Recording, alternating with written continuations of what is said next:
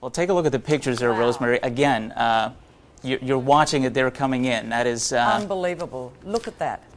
that is arriving on the coast. As you're watching these uh, dramatic pictures there from uh, Japan, the earthquake occurring about 150 kilometers east of Sendai, I do want to mention that Japan is not the only uh, uh, uh, place that is being affected here, but my goodness, uh, it is now taking the brunt of it there, uh, Rosemary. That is uh, unbelievable. Extraordinary. I mean, you can see the power lines going down as all of that water roars through and rips. And of course, it is close to the coast. You can see the ships and the boats that are already in the harbour there, but all of the cars are being drawn into that. I mean, this is just extraordinary seeing these pictures as this uh, unfolds before our very eyes. We've never, we've never seen this. We're watching a live uh, tsunami hit Japan. If you're watching us uh, from around the world here on CNN, that is what you're watching. Those are not taped pictures.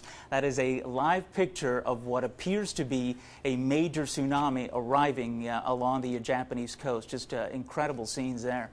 And of course, Ivan, let's talk about those waves because you were you were saying like 500 miles for our U.S. audience, uh, 800 kilometres per hour for our global audience. I mean, it, just extraordinary strength involved in that. And you say it comes, uh, presumably that first one is the strongest, and then the ones that follow are weaker. Is that correct or not? Not, not necessarily. Uh, if you remember in the Banda Aceh uh, tsunami, the uh, initial one was bad enough, but then we had uh, essentially uh, wave three and wave four, which were actually higher and uh, worse. So uh, the, the damage uh, is ongoing right now, but may continue over the next uh, several hours uh, because we, we talk about these waves that come in, each successively producing damage here. So we'll have to watch that closely. And again, not just Japan, but we have a, a regional across the Pacific now, tsunami watch in effect. And as you watch these dramatic pictures, that is telling me that since a tsunami was generated and it has now hit Japan,